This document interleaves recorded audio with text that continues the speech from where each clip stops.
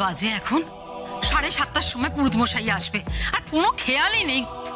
দেখো দেখিনি, নৈবেদ্য সাজানো হয়নি, ফল কাটা হয়নি। আমি নেমে এলাম আধ ঘণ্টা আগে। আর যে কিনা বায়না করছিল, পুজো করব পুজো করব, তার এখনও কোনো নাম গন্ধ নেই। যদি না পারতো, যদি না পারতো, আমাকে বলে দিতে পারতো, আমি সব একা হাতে গুছিয়ে নিতে পারতাম। বাবা! মা, তুমি এত টেনশন করছ কেন বলো তো? সর্বমঙ্গলে এক্ষুনি চলে আসবে। আর তাছাড়া, মেয়েটা রাত জেগে কাজ করে। হয়তো ভোরবেলা একটু ঘুমিয়ে পড়েছে। আর তাছাড়া এখনও তো সময় আছে। তুমি এত কেন টেনশন করছ? তুমি একটু চুপ করে বসো ও ঠিক চলে আসবে। আমি এসে গেছি রে। আজকে তো আর ছোট বৌমার হাতে সকালবেলায় চা খাওয়াটা হবে না। তা তুই বানিয়ে দে দুধের সাথে ঘোলে মেটাই। কি ব্যাপার অমিতা? তোমাকে এত টেন্স লাগছে? মায়ের ছোট বৌমা এখনও আসেনি বলে মায়ের টেনশন হচ্ছে। দেখ দেখ। এই যে তোদের মা নাকি এই ছোট বৌমাকে মেনেই নিতে পারেনি হ্যাঁ? আর সর্বমঙ্গলার ধূপকাঠির ব্যবসাটা নতুন করে শুরু হতে যাচ্ছে দেখে তোদের মায়ের এক্সাইটমেন্টটা দেখ।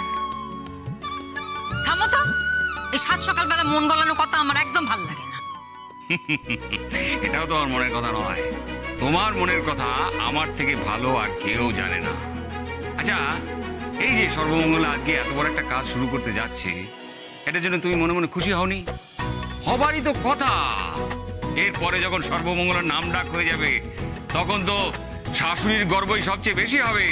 দুনিয়া শুদ্ধ লোক বলবে, দেখো, অমিতা কাঞ্জিলালের সাপোর্ট না পেলে সর্বমঙ্গলা কাঞ্জিলাল আজ এই জায়গায় আসতেই পারত তখন গর্বে তোমার বুকটা ভরে উঠবে না?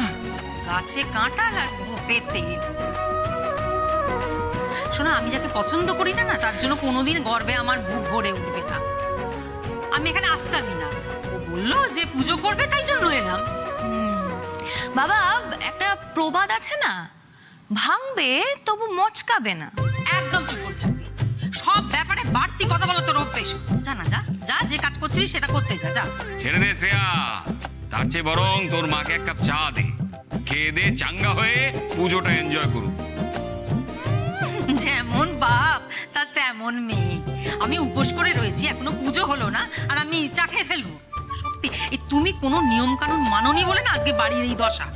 মা এইটা কিন্তু বেশ ভালো হয়েছে। মানে সর্বমঙ্গলাও কিন্তু তোমার মতো এরকম নিয়ম নিষ্ঠা সব মেনে চলে। এই দিক থেকে দেখতে গেলে তোমার সাথে বেশ মিল না? কি বলো বাবা? আমার সঙ্গে নাকি মিল? মিল হলে আমাকে এতক্ষণ এখানে দাঁড় করিয়ে রাখতো দেখ এখন সে মেয়ে কখন আসে?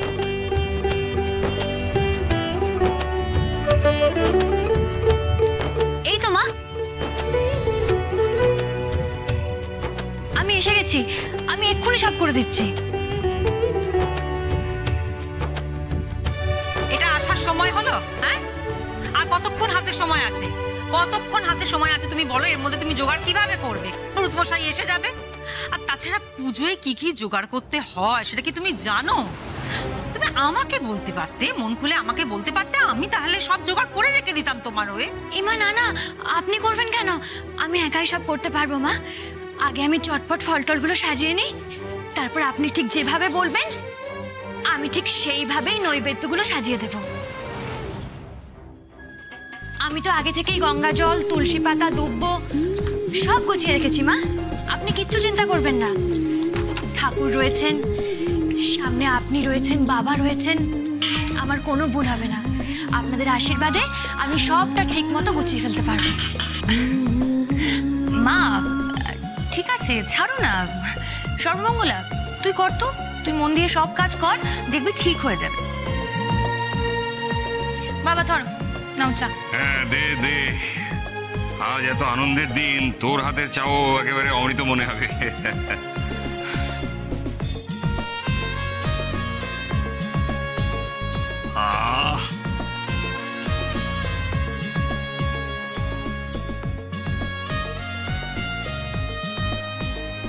ভুল হলে শুধরে নিও। আজকের দিন আর মেয়েটাকে বকাবকি করো না।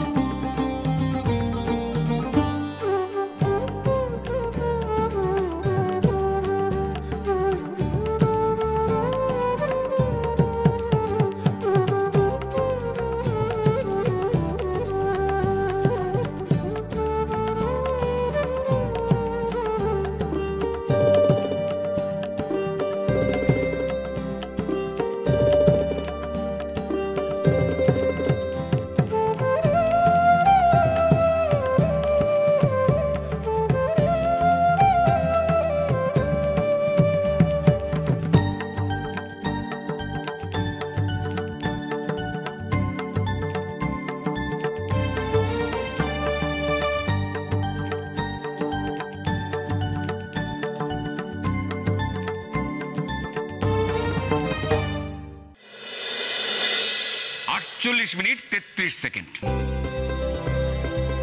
না মানে ওই ঘড়ির সময়টা মেলাচ্ছিলাম আর কি।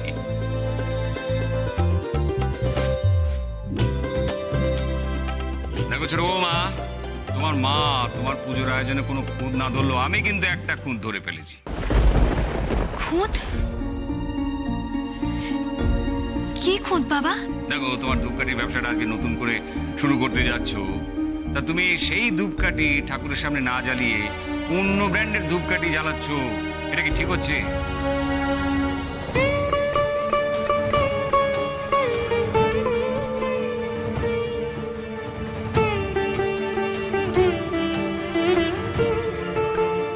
কি- হলো? ওভাবে তাকিয়ে আছো কেন? অমিতা আমি কি কিছু ভুল বললাম? ধরালে কেন? ওর ভুলটা তুমি ওকে ধরিয়ে দিলে কেন? ওর আক্কেলখানা আমি একবার দেখছি। তুমি বলো না তোমার ছোট বৌমা নাকি রূপে লক্ষ্মী গুণে সরস্বতী। তো সরস্বতী পুজোয় যদি বই খাতা না দেয় যা হয় সেরকম মেয়ে আজকের পুজোতে ও যদি ধূপকাঠি না দেয় ও নিজের বানানো ধূপকাঠি না দেয় তাহলে কি করে চলে? না মানে আমি একবার ভেবেছিলাম। তা ভেবেছিলে যখন আনুনি কেন? কি ভেবেছিলে? যে তোমার ধূপকাঠির গন্ধ পেলে আমার অ্যালার্জি হয়ে যাবে? মাথায় রক্ত উঠে যাবে? আর ছোট বৌমা এখনও দাঁড়িয়ে আছো কেন? যাও যাও তোমার ধূপকাঠি নিয়ে এসো। আমি এক্ষুনি আনছি বাবা। কি হলো? এভাবে চলে গেল কেন? তোমার বউ তো পুজোর কাজ করার জন্য ছুটছে কিন্তু তুমি সাত সকালে কোথায় যাচ্ছ বলো তো? আমি আর কোথায় যাব? অফিসে? মা বেরোলাম। আরে দাঁড়া দাঁড়া। আজ তোর বউয়ের ধূপকাঠির ব্যবসা নতুন করে শুরু হচ্ছে সেই উদ্দেশ্যে বাড়িতে পুজো দেওয়া হচ্ছে। আর তুই অফিস যাচ্ছিস?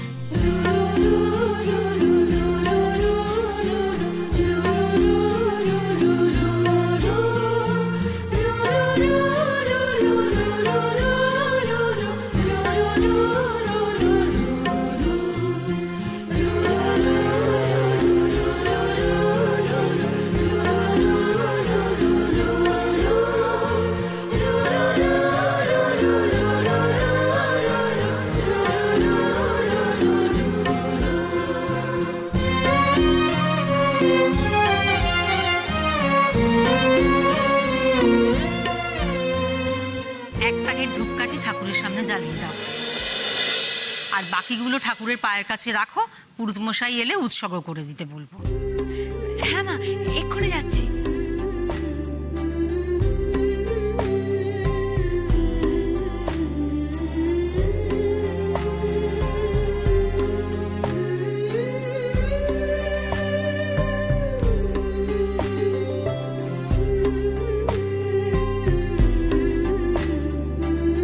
আচ্ছা অমিতা অনিশের আজকে পুজো ছেড়ে অফিস যাওয়াটা ঠিক হবে? তুমি বলো তো। কি করব বলো বাবা? অফিসে আমাকে যেতেই হবে। সৌমিলির ফাঁদে পা দিয়ে ফেলেছি যে।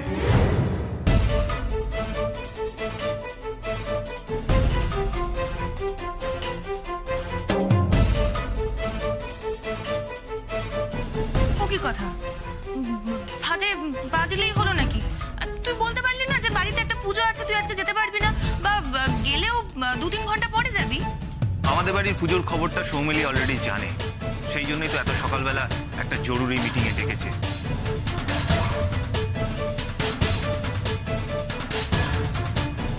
যাতে আমি পুজোটা অ্যাটেন্ড না করতে পারি।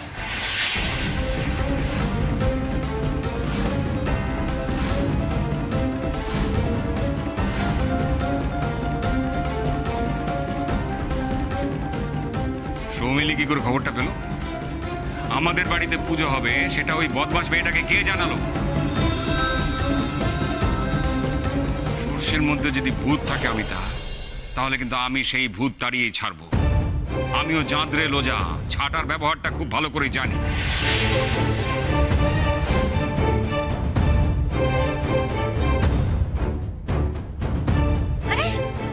ঠাকুরের সামনে কি যা তা বলছো? করব অনিশকে যখন যেতে হবে ও যাক আর কি করবে ওর কাজ এটা। যার জন্য পুজো করার সে তো রয়েছে এখানে।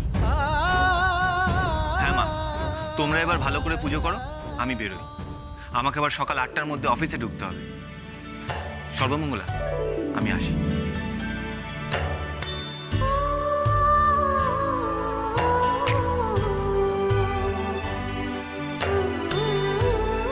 ভাইয়া এক্ষুনি যাচ্ছিস কেন? কিছু খেয়ে যা।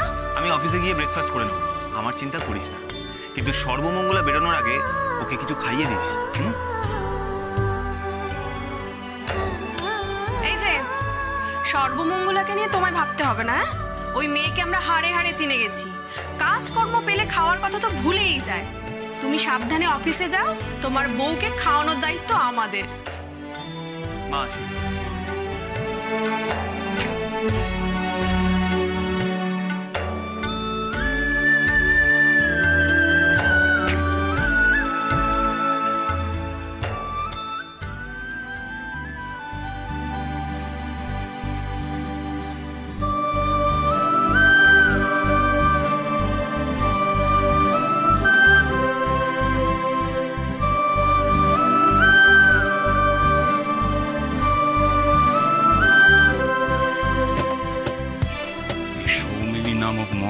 থেকে আমাদের পরিবারটা যে কবে মুক্ত হবে আমি শুধু সেটাই ভাবছি।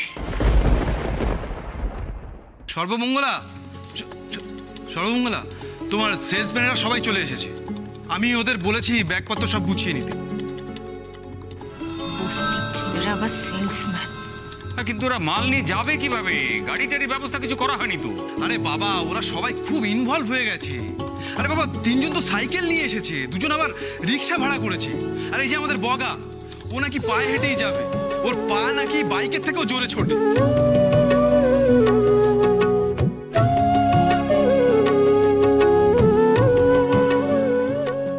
বাবা তার মানে সবাই চার্জ হয়ে আছে বল। আরে চার্জ বলে চার্জ একেবারে চাঙ্গা টিম কেমন টকবক করে ফুটছে একবার দেখে এসো। হ্যাঁ আমি এখন পুজো ছেড়ে কোথাও যাব না বুঝলি? তুই যা যা যা। ওই তুই ওদের গিয়ে মালপত্র কোথায় যাবে সব লিস্ট করে বুঝিয়ে দে যা। আচ্ছা ঠিক আছে ঠিক আছে আমি দেখে নিচ্ছি।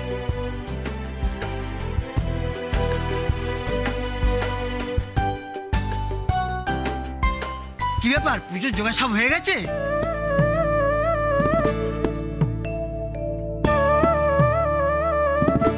এই তো ঠাকুর মশাই চলে এসেছেন? আসুন আসুন। আসুন আসুন আসুন।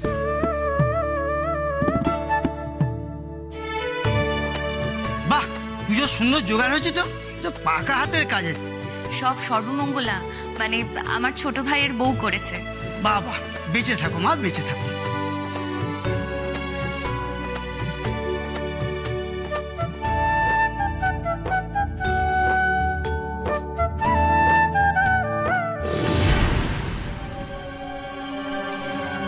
কি হলো? এত রাগ কিসের? পারলাম না। কিছুতেই সর্বমঙ্গলাকে আটকাতে পারলাম না। শুনলে আর কোনোদিনও আমাকে বিশ্বাস করবে না। সত্যি সঞ্জনা এমন একটা কেস খাইয়ে দিলে না সৌমিলি আমাদের আর বিশ্বাস করবে না তোমাকে তো আর কাজও দেবে না। জানি। বলছি এখন আর নিচে যেও না দুম করে। হুম সবাই তোমাকে সন্দেহ করতে পারে। তাই পুজোতে এখন আর যেও না। ঠিকই বলছি। সবকিছু জেনে যাওয়ার পর সর্বমঙ্গলা মুখে যাই বলুক। তোমাকে পছন্দটা সারা জীবন ও আর করবে না। তাই বলছিলাম আর কি। My foot. কেউ মেয়ে আর ওর পুজোতে যাওয়ার আমার কোনো ইন্টারেস্ট নেই। আর যাওয়া তো দূরের ব্যাপার আমার দেখারও ইন্টারেস্ট নেই। মুখেই শুধু বড় বড় কথা। কাজের বেলা? লবডঙ্ক। কিচ্ছু পারে না কোনো কাজের না। টপের রানী। যা করার আমাকেই করতে হবে। না না। সৌমিলিকে চটানো যাবে না।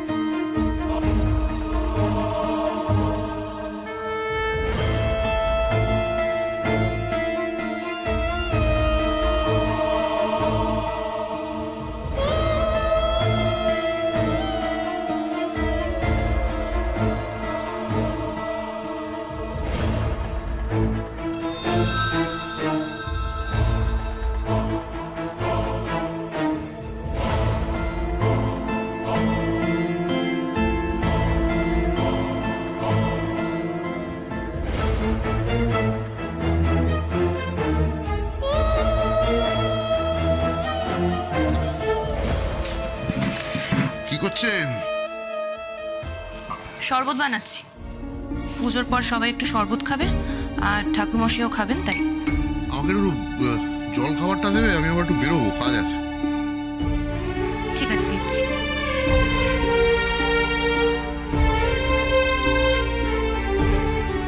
এবার পুজো সম্পূর্ণ হলো।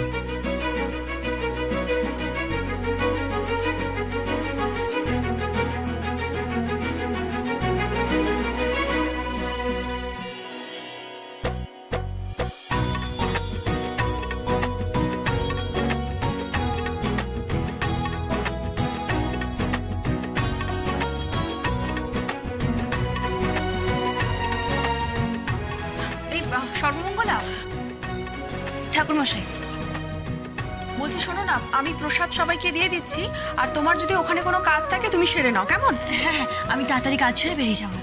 আমি এবার আসি? বেরিয়ে যাব মানে? খেয়ে তারপরে যাবে?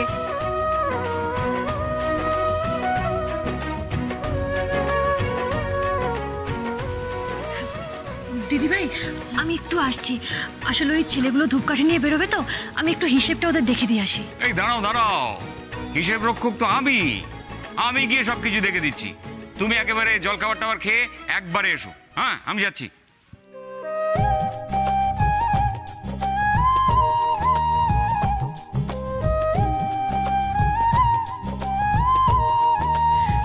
মা আমি আমি আপনাকে একটা প্রণাম করব মা। বাবা।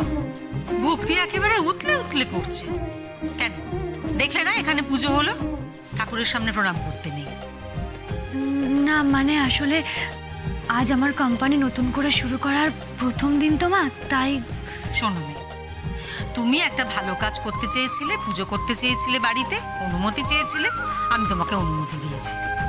কিন্তু তাই বলে ওই যে ছেলেগুলো তোমার হয়ে কাজ করছে, তারা এখন এখানে আসবে, বাইরে করোনা হচ্ছে, এখানে এসে আবার কি নোংরা টোংরা করে দেবে, এটা কিন্তু আমি মোটেই বরদাস্ত করি আর দেখো, বাড়ির বউ পাড়ার ছেলেদের সাথে দোকানে দোকানে ঘুরে বেড়াচ্ছে, এটা আমি ঠিক মেনে নিতে পারি না।